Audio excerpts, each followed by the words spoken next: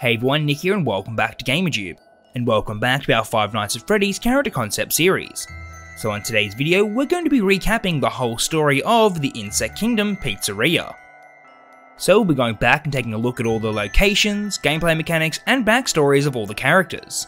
And as always, I will just state that everything stated in this video isn't linked to the overall lore and universe of FNAF. It's just a fun, creepy, cool story we get to tell, and we hope you enjoy. And lastly, do be sure to subscribe to GamerJoob as it helps out a lot and it's greatly appreciated. It also keeps up with all the videos that we post.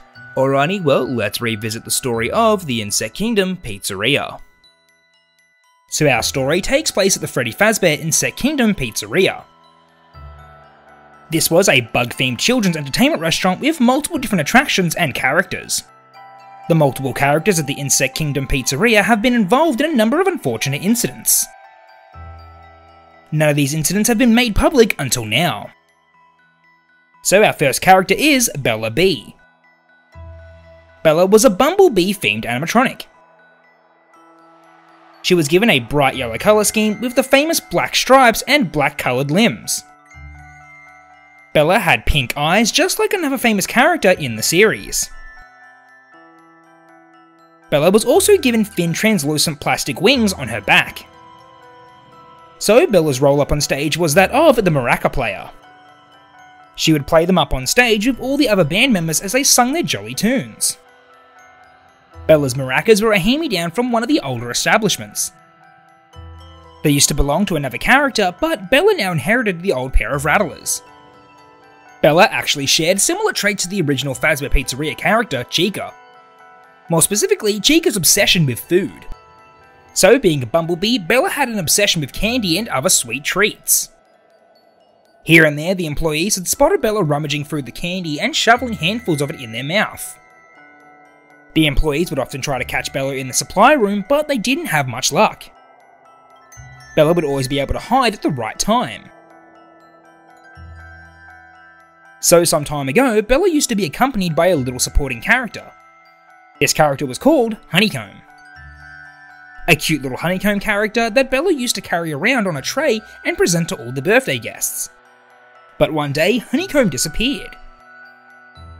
Ever since that day, Bella looked worse for wear. It was later revealed when the repair worker opened up Bella's chest compartment that she in fact ate Honeycomb. Ever since the manager locked the candy storage room, she got so hungry she actually devoured her little friend. So Bella wasn't the only one who had a sweet tooth at the pizzeria. The night guard would also sneak a couple of treats for themselves as they would start their night shift. Since that was the only candy that Bella could get her hands on, she would do anything in her power to get it. So throughout the night, Bella would attempt to enter the security office and grab the candy. The player would have to do their best to fend off her multiple attempts. But if Bella proved to be too much for the player, then it would end in a classic FNAF jump scare.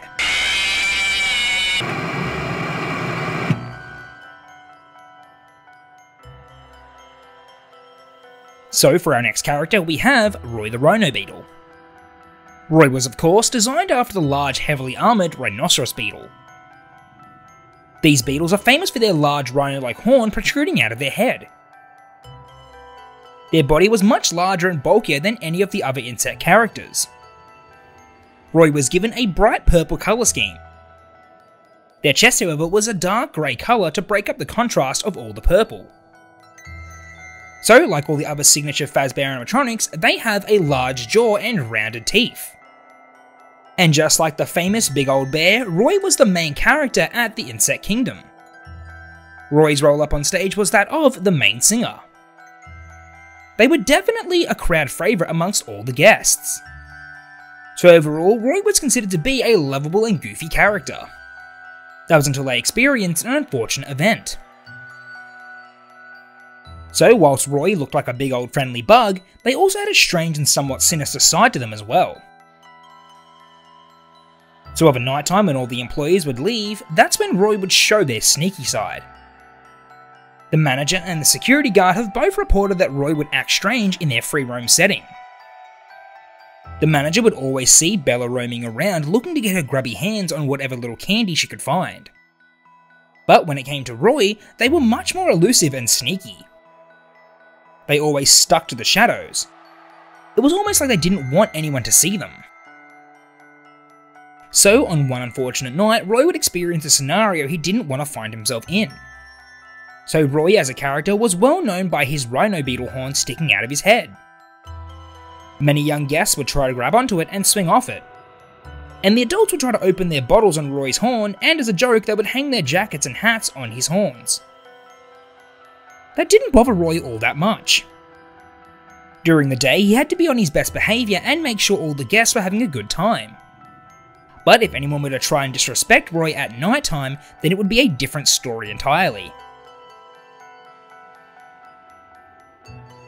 So one afternoon, when the pizzeria was closing up for the day, the manager set Roy and all the other characters into their stationary mode. Roy and the others were scheduled for maintenance the next day, and the manager didn't want them walking off and getting any wear and tear before they got worked on. A few hours later, as Roy stood there in their frozen state, they heard a loud crash. It was a bunch of older children who had broken into the pizzeria. They were all wearing Fazbear character masks. All except one younger looking kid. The other kids seemed to be bullying the younger kid. They carried them over to Roy and hung the poor child by the back of their shirt on Roy's horn. Roy, stuck in his stationary state, couldn't do a thing. The only one who could help was the damn security guard. But on a night like this, they were too busy slacking off. The bullies all stood there and laughed at the poor embarrassed child. They sprayed Roy and the child with soda and threw multiple food items at the kid. All this food and sticky soda stained and dirtied Roy's outer material. This whole ordeal really upset Roy. He was designed to entertain children, not to be a tool to torment and bully them. Eventually, the security guard caught on to what was happening. They shone their flashlight at them and they all scattered, leaving the poor child to hang off Roy's horn. The guard helped them off and called their parents and the police. Roy was angry at the security guard. Why didn't they help sooner? Along with that, Roy was also very embarrassed. From that day on, Roy didn't want to be seen by anyone. They would hide in the shadows and avoid the cameras at all costs. If anyone, especially that lazy security guard, looked at them through the cameras, then they would teach them a lesson. So throughout the night, Roy would avoid the security cameras. If the player was to accidentally look at them on the monitors, then this would trigger Roy to start walking over to the office. Roy would taunt the player all through the night and also even toy with them. He would peer into the room and then run off and hide. The player would have to do their best to locate where Roy was at all times. If they lost sight of him, things wouldn't end well for the player.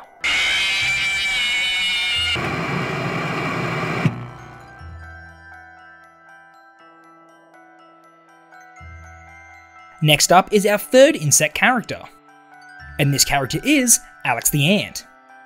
Alex was the ant character of the Bug Buddies band. The engineers gave Alex a friendly appearance with a big toothy smile. Alex was given a bright blue colour scheme with some subtle design differences.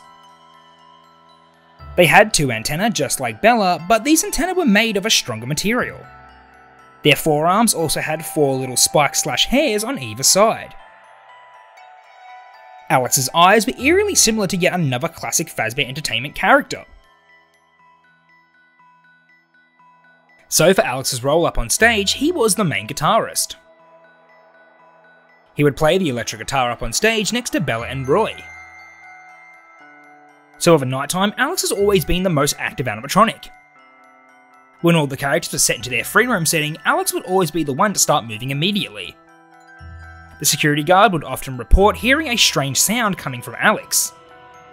Whenever they were roaming around, they could hear it in the distance. It was definitely a strange and off putting sound. But the manager assured the security guard that it was just a fault in their voice box. The manager arranged for the repair worker to come in and check up on Alex in the next few days. When it was time to inspect and repair the voice box, the repair worker first removed their eyes and placed them in the cleaning receptacles.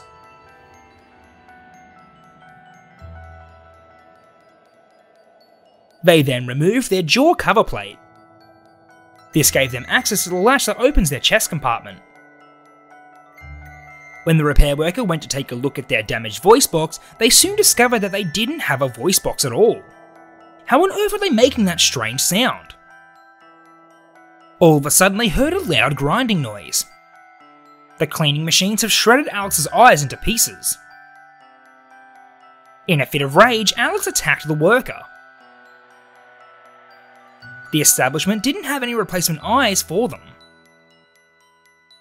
So they ordered the new eyes and they'd arrive in a couple of weeks. But Alex couldn't wait that long. They searched everywhere for the spare set of eyes. But the only place they haven't looked yet was the security office. So they would attempt to enter the office as soon as it hit 12am. They were the first character to start moving a nighttime. The way in which Alex would try to enter would be through the vents. When the player sees them, they would need to scare them off with the inbuilt vent fire extinguishers. Alex would try to enter the room numerous times throughout the night. If the player slips up and lets them inside the room, then it'd be the last thing they ever do.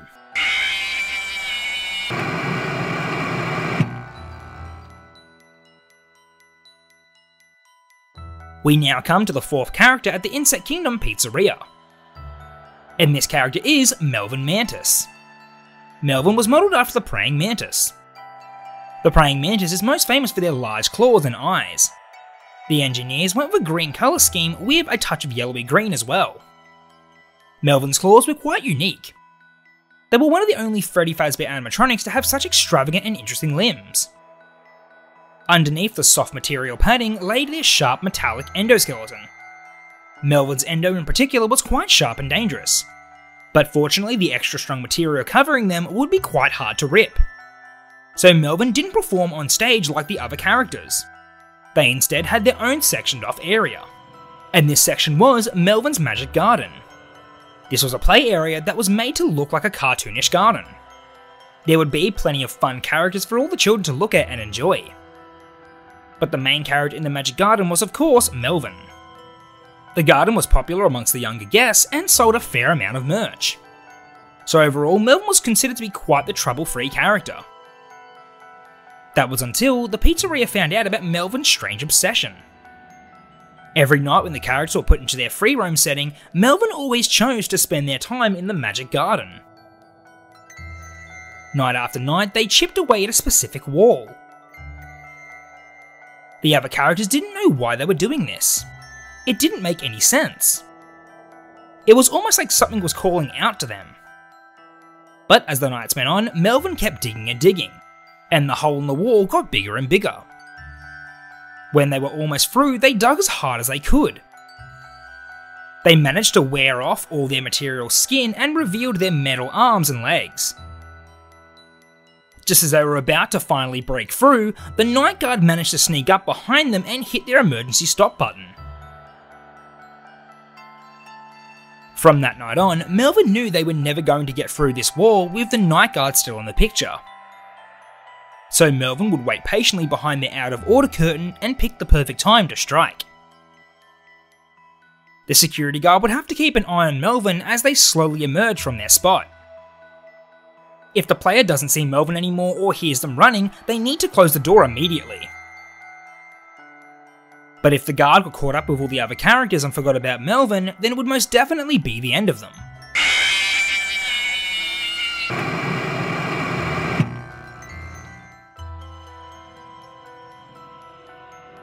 Next up is the strange looking character, the Spider Puppet.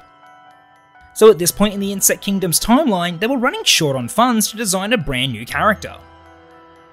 The establishment had a spider character in mind, but couldn't afford to build one from scratch. So instead, they requested if Fazbear Entertainment could send them an older out of use animatronic that they could modify.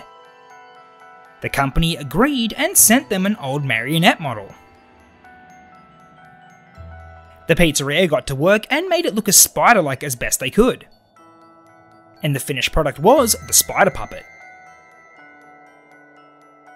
The Spider Puppet's role at the Insect Kingdom Pizzeria was that of the face painter. With their four arms, they could paint the faces of four individual guests at one time. Although the spider puppet was a little creepy looking, they were successful nonetheless. The only strange thing about the spider puppet was their obsession with catching and eating cockroaches. Once they ran out of bugs to catch, they made their way to the security office. As they got closer, the night guard lost all control of their instruments. The spider puppet's eyes also disappeared as they peered into the office. The night guard was surely doomed, but as the spider puppet went to attack, the clock struck six.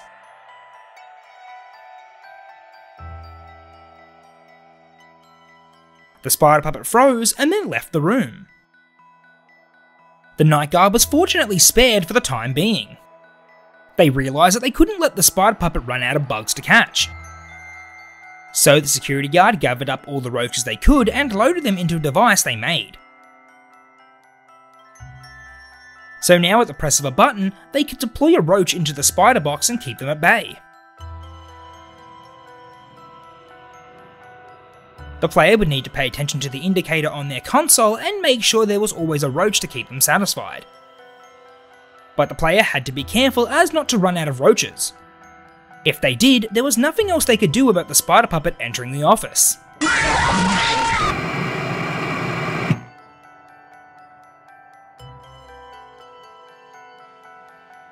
We now come to our sixth character. And this character was known as Gary the Grasshopper and after their incident, they were known as the Gary Mangle. So this character actually takes place back in time before Melvin Mantis and the Spider Puppet were introduced. So before Melvin Mantis, there was Gary Grasshopper.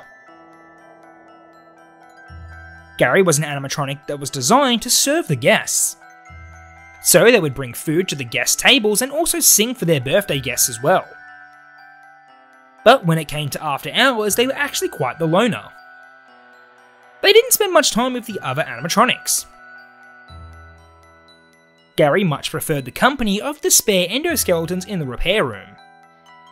Whilst wandering around the repair room, they came across a strange looking endoskull. Gary was obsessed with this endoskull. It was almost like it was trying to talk to them. Eventually, the skull convinced Gary to try and add them to their body. Gary made multiple attempts, but nothing seemed to work. That was until the skull's eyes lit up and they took control of the other endos. With their help, they were finally able to make Gary and the skull whole. When the manager found them in the morning, they couldn't believe what had happened. There was no way they were going to be able to put them back together again. And if Fazbear Entertainment ever found out about this mangled mess, they would surely be fired. So, fortunately for the manager, the Magic Garden was being built at the same time so they decided to power them down and hide them in behind the wall. The builders built over the mangled animatronic and they were never seen again. That was until some years later when the skull woke up and called out to Melvin. They wanted Melvin to free them from the wall. In the end, Melvin was able to loosen up the wall enough for them to finally break out. When they were free, they sought vengeance on all the staff members that locked them away.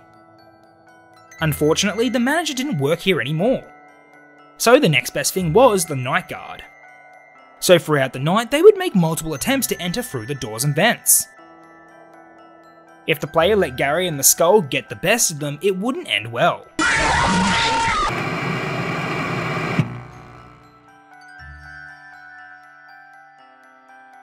We now come to our final character at the Insect Kingdom Pizzeria.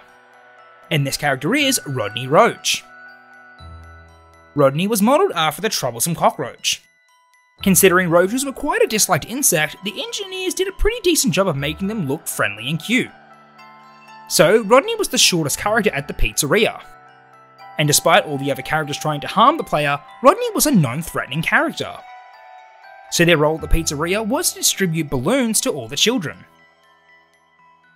Considering Rodney was the same size as many of the children, they took a liking to the lovable roach. But aside from all the happy smiles, Rodney was quite the prankster. They played multiple different pranks on all the different characters.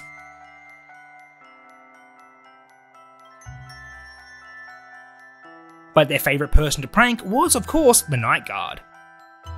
So throughout the night, the player would need to keep an eye out for Rodney. All that Rodney wanted was the Night Guard's attention. So whenever they heard the sound of laughter, they would need to look at Rodney.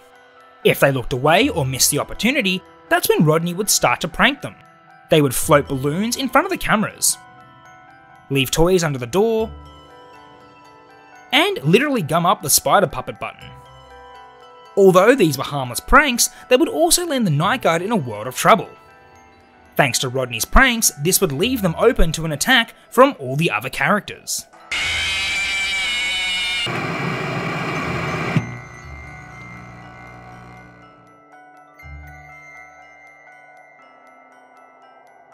Alrighty, well that's all we have for the story of the Insect Kingdom Pizzeria. Let us know in the comment section down below which character was your favourite from this chapter. Alrighty everyone, well, to the next video, I'll catch you later, bye.